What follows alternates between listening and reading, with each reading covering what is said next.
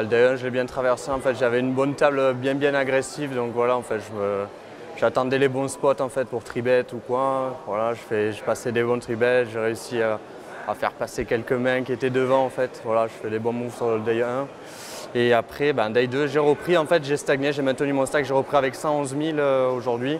Et euh, j'ai maintenu mon stack en fait euh, ben, jusqu'à maintenant. En fait, ouais, voilà, en fait, j'ai maintenu, je suis à, il me reste 11 bébés. Voilà, donc ouais, voilà, ouais, bah ouais, on est un peu shortfold et euh, voilà, hein. on attend le bon spot. Euh. Après, je me, je, me, refais un peu sur les blends en fait, ouais, voilà. C'est, en blend, ça va, j'ai des joueurs agressifs euh, sur ma small blend et la big, donc voilà, j'essaye de, de, push un peu, plus, un peu plus sur les blends, quoi.